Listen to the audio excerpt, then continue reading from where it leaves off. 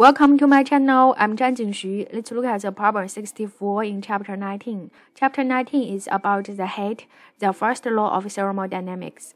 So you can see there we have a light bulb, right? We can draw it there. It's spherical.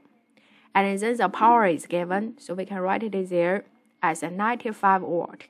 See, it tells you this, you can need to distinguish it. It tells you this 100 watt light bulb generate 95 watt of the heat. So in this problem, we talk about the heat and first law of thermodynamics.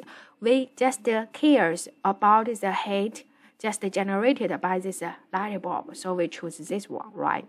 So there we write the P as 95. And this 100 watt is just confuse you. This is how much energy, right? It consumed the electric energy. This is electric power for the light bulb. This is the energy for the heat. So we write it there. And then tell you this light bulb just surrounded by a glass. And this glass has a has a has the thickness L is given. And also this light bulb's uh, radius R is given like this one, right? Now ask you what is difference in the temperature between the inner and outside of the surface temperature. So it looks like we need to find the delta T between the inner and out. You can see the heat generated by the light bulb and then transferred uh, from the inner to outer by this uh, glass. Agree? This is the conduction equation. Do you agree? So we write down the conduction equation. It tells you the rate of energy flow Q delta Q, we can write it as delta Q over delta T. This is just as a power, agree? The energy loss. The rate of energy loss is power P. So we write it there.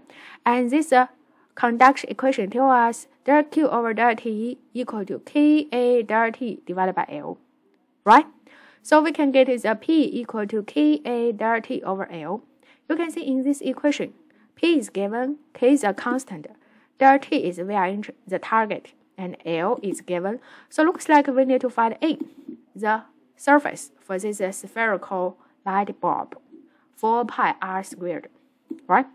Then we can write the equation for delta as PL divided by KA, input A as 4 pi r squared. So we get answer there. Thank you.